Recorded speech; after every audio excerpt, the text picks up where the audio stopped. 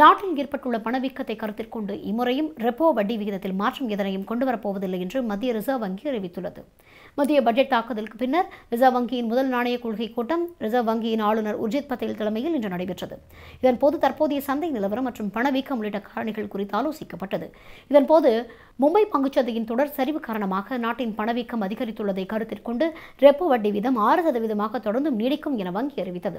இதன் மூலம் தொடர்ந்து மூன்று முறை ரெப்போ வட்டி வீதம் மாற்றம் செய்யப்படவில்லை என்பதுடன் கடந்த ஆகஸ்ட் மாதம் பூஜ்ஜியம் புள்ளி இரண்டு ஐந்து சதவீதம் குறைக்கப்பட்டு ஆறு சதவீதமாக மாற்றப்பட்டமை குறிப்பிடத்தக்கது.